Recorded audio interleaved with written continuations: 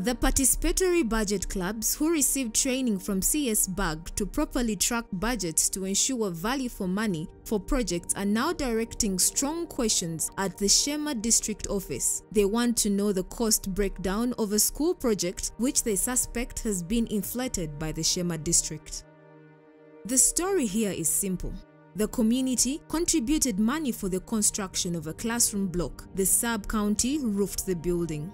Sheema district, however, said they spent 22 million on plastering and flooring when the work is even not complete. The Sheema district education officer, Nsavirwe Esawidi, said he will fully investigate the cost of finishing the classroom block and furnish the people with explanations. This story shows that the community members have been alive with accountability issues. They contributed their quota but also made sure that no one was shortchanging them.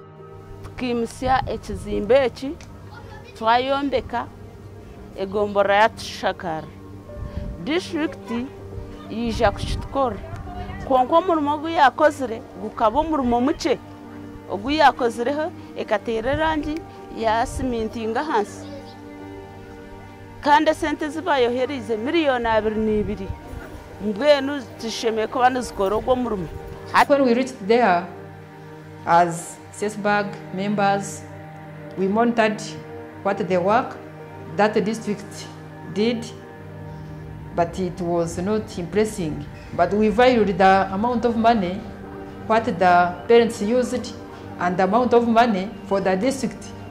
They are telling us it was not interesting, and that accountability only they made the flooring and even plastering the whole the wall only but and we reported to the district we are following them to see how they accounted for that 22 million This bag close.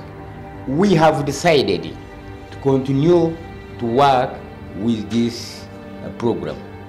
We are not after money, moreover, but we are after programs in our sub county. We must work. where the few selected for others.